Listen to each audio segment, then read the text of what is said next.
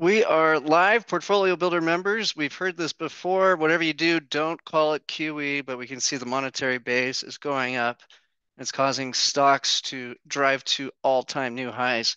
Now we have an asset class that has actually pulled back to start the year off, which makes zero sense with all the, the good news coming through. Uh, and will probably be where we start adding some exposure next week with some new trade alerts. Uh, but for now, this week we are staying flat. Last year we had a total return of 131%. We traded the portfolio maybe four total times, very passive strategy. Buy these stocks now for big money in 2024.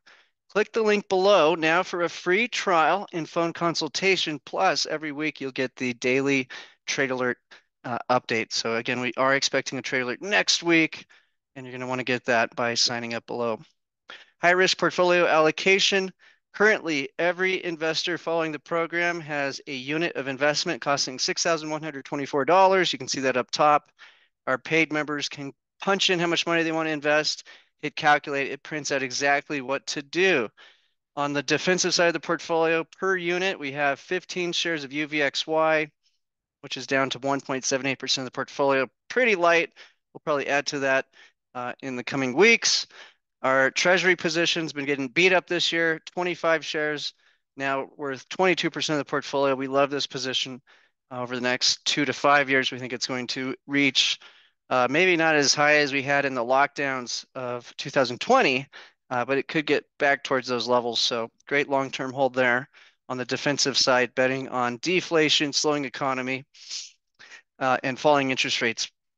Then on the offensive side, we have coin, which fell from 180 to 124. Fundamentals of coin are getting absolutely ridiculous. We see this going towards 300 to 500 over the next several years. No plans to sell it. Uh, by far our favorite stock market pick in this sector. Uh, and again, that's 16 shares per unit of investment. We have two shares of NRGU. So oil's been going nowhere despite all the escalations in Europe and Middle East uh, as the economy starts to heat back up, the monetary policy eases. Uh, we got Japan, China, Europe all ready to cut rates or print money. U.S. is getting ready to cut rates. Uh, we expect oil to go back up. So quite possible we could add to that position. I'm ready to add BOIL back with a small position next week. So that'll be one of the new trade alerts, most likely coming in. GBTC at 30 shares, 17.44%. We'll most likely rotate this either into ETHE uh, or into some of the miners. So we'll look at some opportunities there. Uh, FNGU breaking to new highs, uh, or at least the NASDAQ is today. Uh, there's a few weeks of earnings coming out. Uh, so at some point, we'll probably trim that down. And again, the correlation between the NASDAQ and coin just broke. The catch up trade is in coin and GBTC. Uh, so we'll want to fade that FNGU trade soon, but not yet. It is printing all the profits for us today. Uh, again, we had a little bit of a pullback to start off the year after a 131% return last year. Total return with two ridiculous months in November, 26.86% then 23.2. Um, just note, we I had you sit flat for three months losing money before you knocked it out of the ballpark. So don't worry about the little drawdown we have uh, this month every asset we're in long term, I would have 100% conviction you could never look at it again, and it will go up in the next two years. Uh, but again, we'll make some small changes in the next few weeks. Click the link below now for a free trial and phone consultation if you're seeing this on YouTube. If you're live on the webinar, that means you're a member and don't need to worry about doing that. And again, if you do take a free trial, you'll be invited to the live webinars where you can ask questions. Want to learn more? Call Dean now at 505 322 7515. Safe Growth Portfolio currently has a allocation of $2,102 per unit. All members follow the same ratio of shares per unit. And again, if you're a member or on a trial, tell us how much to invest, punch it into the calculator, it prints out the ratios for you. On the defensive side, it's really low with two shares of UVXY. Uh, again, we'll probably top that up in a few weeks. Uh, it has 11 shares of TMF that's betting on the long end of treasuries, interest rates falling, 28%. Uh, this one's got a lot of value play. So it's got TMF, which has been in a two year bear market, starting to show some signs of life in the last three months. Uh, it's got shares of emerging markets, which has been in a two-year bear market. Um, and again, China just announced that they are going to do a $228 billion stock market recovery fund, uh, which has been making Asian stocks go up, especially tech stocks, uh, which EDC is EEM times three. And again, that's got a lot of countries, not just China. You get your exposure to India uh, and all the little countries around that area. So it's a huge ETF with something like 4,000 stocks in it, leverage times three. Again, the safe growth portfolio is looking for value investments uh, that are underpriced, while the high risk portfolio is often chasing momentum. Um, and so again, you got to be ready for a lot more volatility when you're playing momentum uh, versus value. This portfolio has a huge GBTC position. Uh, quite likely will sit there, may split it in half with ETHE or add coin since it's at a value relative to that 180 price. Uh, and then it's got a, a decent NRGU play. Um, so it may not need BOIL. And again, BOIL can be very hard to play. We've made a lot of money last few years in the high risk portfolio with BOIL, uh, but we've also been burnt by it. So uh, we'll see exactly what trades come out next week, but that's what we're thinking. This portfolio had a 14.68% return 2023, uh, down 7% to start this year. Uh, and again, that's because we had oil and treasuries and GBTC fall, uh, which makes no sense uh, with the fundamentals we're looking at. Uh, so again, don't worry about it. No changes uh, of significance to that portfolio, uh, and you'd walk away with giant returns the next two years. Central bank rate hikes versus cuts. Okay, so we are in rate cut cycle or pause cycle, and it's about to get much, much easier. Something like 60% of countries globally have voting this year. So politicians are going to be pressuring central bankers to make markets pump to get voters happy, those that are in power. There's also going to be a lot of pressure to ease these wars in the Middle East, which are really on the verge of messing up uh, inflation. Uh, so very interesting, but that's the big picture. And again, two thirds of, I think the entire world will be voting this year. So a lot of potential change happening in politics uh, to be following this year.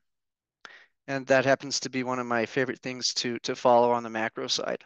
Okay, this is why we're confident of a strong stock market, uh, even though we're seeing a lot of the price data fall in terms of inflation. It's because the US is running a debt to GDP uh, that is unheard of. And they have no plans to change it, whether it is Mr. T or Mr. B. And again, Google's now restricting what we say again, of course. Uh, but either of the two people running uh, will run massive deficits. So this is very good for stocks, not as good for bonds. Um, but again, primarily where we're invested uh, is a bet on the monetary expansion of capital. Here's a look at the inflation data. We did have it pop back up a little bit last uh, week or two ago. Uh, but in general, the trend is down, and we're highly confident will continue down primarily because shelter uh, is about 18 months behind, and that's gone all the way back to flat towards zero. So that alone is quite likely going to drive inflation dramatically lower. Uh, we also have the dollar index hitting the death cross, um, uh, which essentially means that the US dollar is quite likely going to not go back above that 103 level, which is very good for uh, your GBTC FNGU positions. Okay, so this is a look at one of our favorite plays for the next two years. And uh, again, we can't say the name of this because of, of Google, uh, but you can read the screen. You can see it's the best performing asset since 2013 outside of the years that it didn't perform. And in those years, it was the worst performing asset. Uh, so again, we're expecting it to be the best performer uh, for the next two years. And the main uh, the main catalyst is the ETF is raking in billions of dollars into this asset every two days. Uh, the cost to create BTC is about to double. They call this the halving event, and this has typically marked uh, where the asset class melts up for about a year to two years. So we're really at that point in time right now. We're getting very excited. Uh, so we have inflation falling. We have interest rates likely to fall. We have massive money being pushed to governments. uh, politically for uh, elections. And then we also have, um, again, the halving coming up. Uh, now, here's what happened when the first gold ETF was listed. You can see it sent gold into this parabolic move up uh, from 2004 all the way to a peak of 2000, uh, late 11. So about seven years of just straight up. Had a nice pullback, and now we're getting ready to send gold to new highs right now. Okay, so the main thing we're worried about on the central bank side and monetary policy side, which probably could be overlay, overlooked for the next year due to, again, politics, uh, is the freight cost is skyrocketing. It's about 18 weeks in advance that freight costs begin to impact uh, the Fed's favorite inflation metric, which they call PCE. So again, if they don't get the uh, issues in these two ports and seas uh, dealt with soon, uh, that could start to make the inflation come back up. And perhaps it won't happen in 2024, but 2025, all of a sudden you get central banks shocking the world again by having to uh, hike interest rates back up. So that's a risk factor we're watching carefully. And here's a better look at freight rates pushed five months forward. So for now, uh, it won't really start peaking up until mid 2024. And another look at container ship rates just skyrocketing up. If you like the content you've seen so far, click the link below for a free trial and phone consultation. We'll give you a free trade alert, make let you make money with the program before you subscribe. Call Dean now to learn more at 505-322-7515. Okay, so a lot of people like to look at the 10-year, two-year Treasury uh, spread to determine if you're heading into recession. And typically, if you look at this chart, uh, what happens is the front end of the yield curve drops towards zero, and then the long end, well, it's still probably going lower, uh, doesn't fall as quickly. And that's what's going to predict, predict a short-term uh, recession and stock market crash. So long term, they think the inflation will continue and there'll be things done to fix it. But in the short term, they think inflation is going to zero, stocks are going to go to zero. And so all of a sudden, uh, just securing your capital and any interest rate becomes attractive. So you get this spiking spread. And so uh, we're on alert for that. But again, we're, we're still in negative territory. So the front end is still more expensive than the long end. Uh, so that call for a recession is really far off currently. Here's a look at your two year. Uh, really just bounced between four and five over the last year. Here's TMF. This is the long end of the bond market that we believe will head towards 0% rates over the next five to 10 years. It's the only way the government keeps spending these massive amounts of money. Every economy globally has a situation uh, where they didn't have enough kids to support everyone going into retirement. Um, so all of the uh, healthcare, social security, all of this is going to have to be paid for by printing money. Um, and the only way they can keep borrowing massive amounts of money is driving interest rates lower because no one wants to lend money if they're losing money uh, by interest rates rising. So TMF is one of my favorite long-term plays. And again, it's just been getting beat up from a high of about 100 of April last year uh, down to 54 currently. And again, this is after uh, a two-year bear market. This is the longest bond market, bear market uh, in quite some time. There's there's some in the 70s and 80s that were uh, similar, but again, we were hiking interest rates to almost 20% with Paul Volcker back then. In one month, uh, you can see it's fallen from 68 to 54, and everything's valuated against uh, interest rates on bonds. So this is not very good news in general. Uh, but the reason for it is, again, the massive fiscal deficit being pushed through the economy is keeping stocks earnings red hot. Okay, here's your DXY. Uh, we believe that essentially Japan, Europe, China uh, are predicting the US will soon ease interest rates, and that's going to make the dollar index fall. So they're front running that and they're easing before we do. So that's why you got the dollar index staying flat right now. What's likely to happen is they will make their easing first and then pause, and then US will come in with its easing next, and then watch for that dollar to drop. Once that dollar drops, assets like GBTC are going to skyrocket up uh, in US dollar terms. And again, you can see the dollar just trading flat over the last year, uh, bouncing between 100 and 105. Here's your yield curve broken down. uh, from three month to 30 year. And again, you can see the highest interest rates are at the top, lowest interest rates are at the bottom. That's the exact opposite of a recession. That's a economy that's too hot.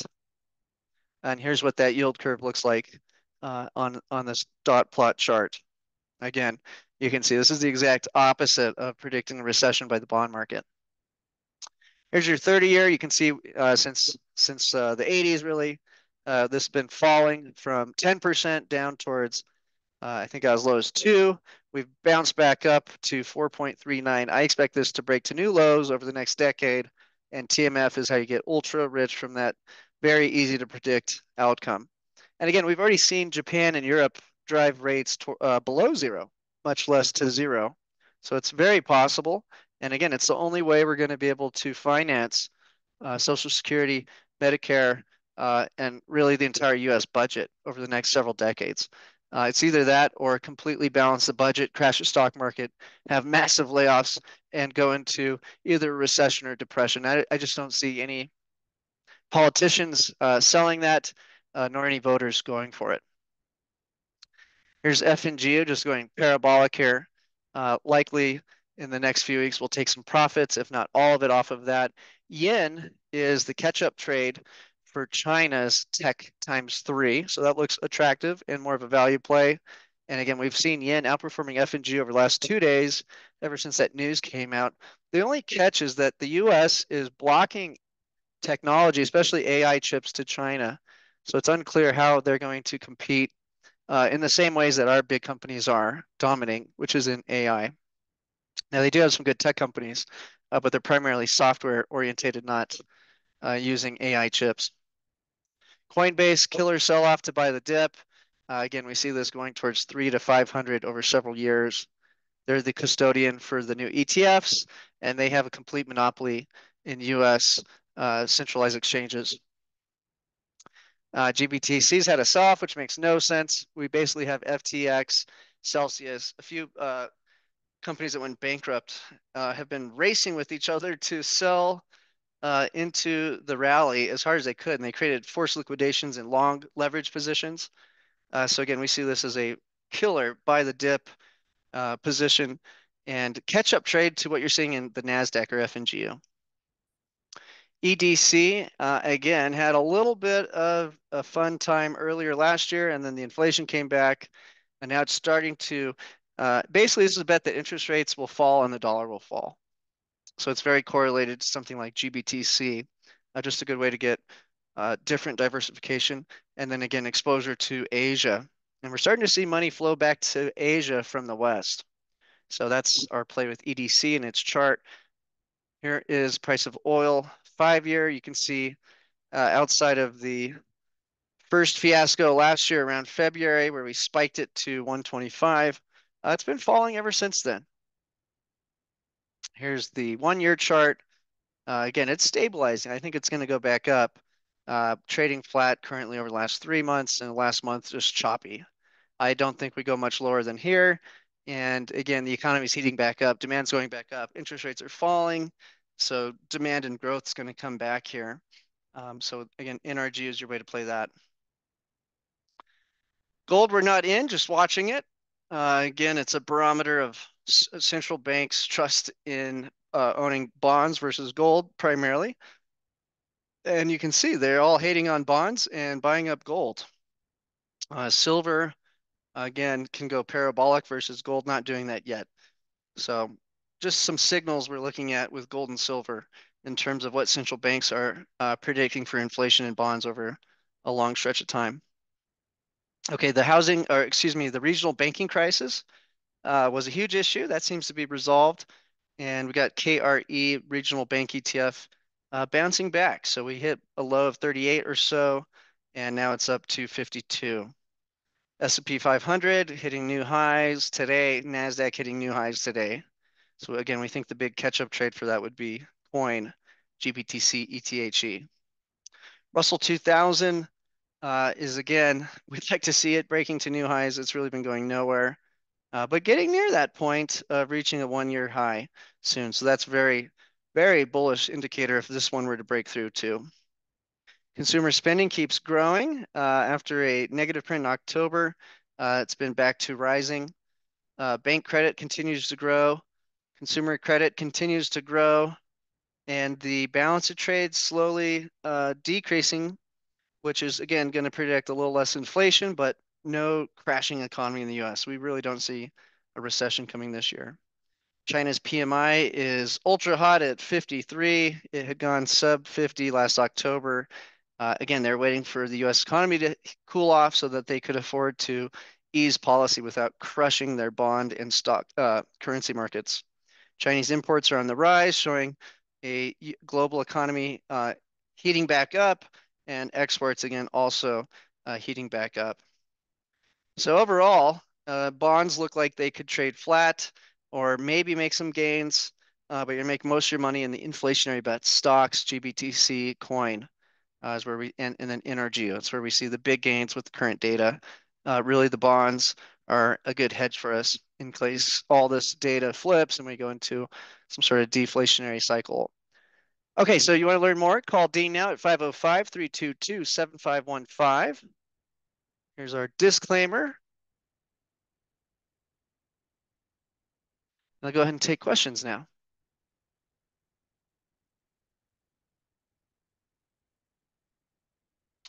Okay, Bill's asking about GBTC versus other. Uh, so you already paid your fees on GBTC, and I probably will be rotating it into ETHE or coin next week. So I wouldn't do anything today. Um, just wait for the trailer next week. But yeah, the, all of them are going to be very similar, just different fees.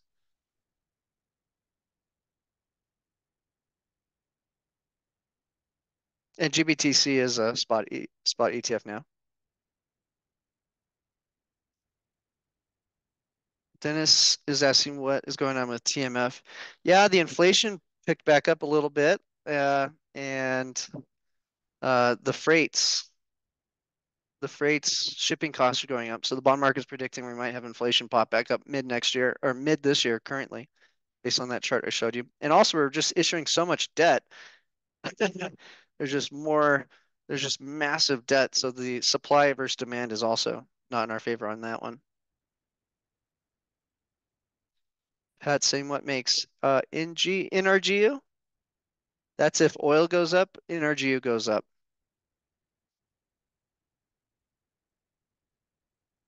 Oil would be natural gas. So a lot of the shipping routes for LNG are getting messed up. Uh, but we're playing US prices with oil, not necessarily uh, what's going on in Europe or the Middle East.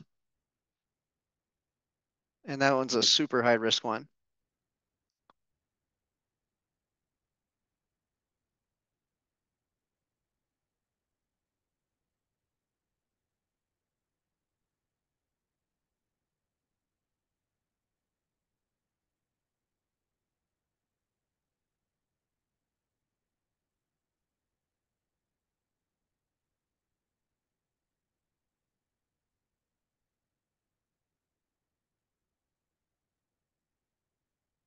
Okay, very good, guys. So look for a trailer next week. Again, we're looking at ETHE, coin, oil, YINN as potential uh, small adjustments and maybe a little UVXY, but might wait a few weeks on UVXY.